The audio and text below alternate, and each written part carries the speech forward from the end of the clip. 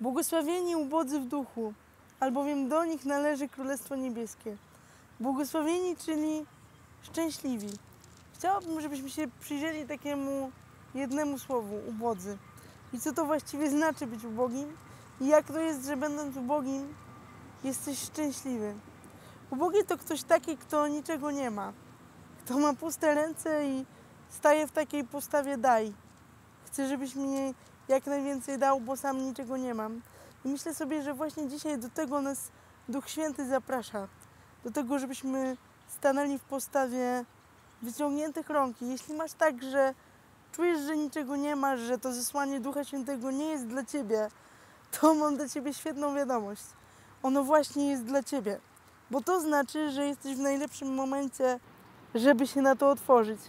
A jeśli jest tak, że czujesz się nieubogi duchowo i myślisz sobie, że no dobra, ale ja się modlę, mam już wszystko i w ogóle wiem, jak to działa, to Duch Święty dzisiaj Cię zaprasza do tego, żebyś wyszedł do tych, którzy właśnie czują się ubodzy i oddał im odrobinę tego, co już masz.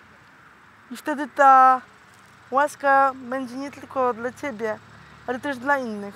A o to chodzi. Chodzi o to, żebyś odważył się wyjść.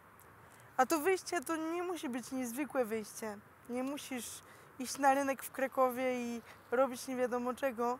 Musisz tylko wyjść, może do kogoś, kto jest obok ciebie, może do kogoś, kogo bardzo się boisz i powiedzieć do niego jedno zdanie. Nie wiem, jakie to będzie zdanie, ale przypomina mi się taka jedna rzecz, którą kiedyś usłyszałam, że zasiane ziarno wie, jak ma rosnąć i nie trzeba go tego uczyć.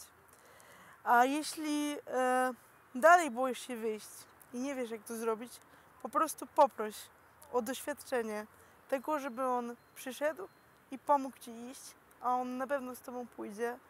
Bo Duch Święty tak ma, że jak go zawołamy, to po pierwsze przychodzi, po drugie nigdy nas nie zostawia.